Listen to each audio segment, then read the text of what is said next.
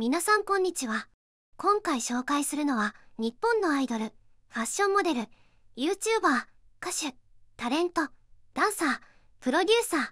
女性アイドルグループ、NMB48 及び AKB48、SKE48 の元メンバーの渡辺美幸さんです。1993年9月19日生まれ、奈良県出身。現在は事務所に所属せずにフリーランスとして活動されております。愛称は、ミルキー。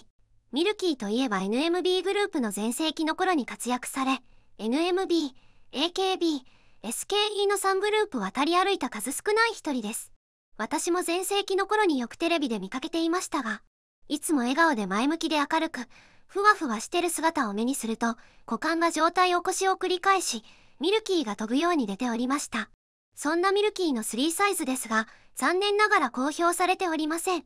そのため今回もネット上の予想3サイズを最後に発表しますので、股間が状態起こしを繰り返さずに、起き上がったままの状態でご覧ください。2010年9月、NMB48 のオープニングメンバーオーディションに参加します。このオーディションに合格をしたことをきっかけにアイドル活動を開始。2010年10月にお披露目され、2011年に劇場デビュー。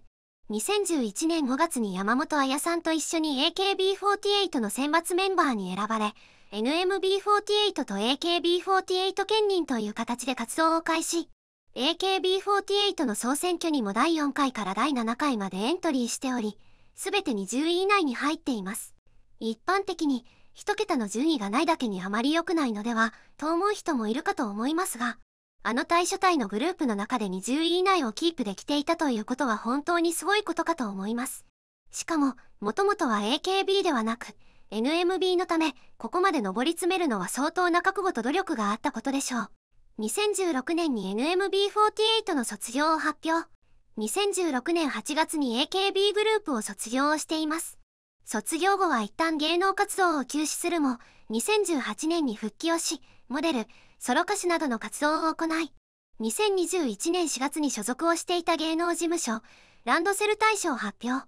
同年5月に個人事務所を設立。ここ最近では、AKB グループ時代には見せなかった、セミヌードやランジェリーを堂々と披露するランジェリーモデルにも挑戦し、いろんな角度からのミルキーを見れるのはファンにとっては喜ばしいことです。ただ私はもっと脱いだ姿も見てみたいと切実に思っています。なのでミルキー、よろしくお願いします。好きな食べ物は焼肉、寿司、桃。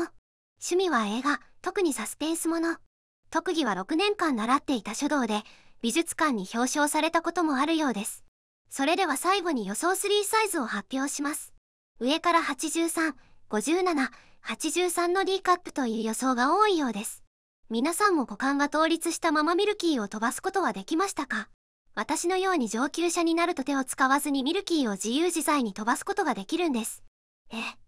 こんなのいらない能力だって、すみません。それぐらいしか私が自慢できる特技はないんです。ということで、今後も目が離せない、活躍されること間違いなしの、渡辺美幸さんを、これからも応援していきましょう。最後まで、ご視聴ありがとうございました。このチャンネルでは、素敵な女性のエピソードを紹介するとともに、えりすぐりでちょっとエッチな写真も交えて紹介していきます。この動画を見てカチカチのホームランバーになってしまった方は是非チャンネル登録高評価をよろしくお願いしますそれではこの後は渡辺美幸さんとの2人っきりのお時間をお楽しみください。ではまた次の動画でお会いしましょう。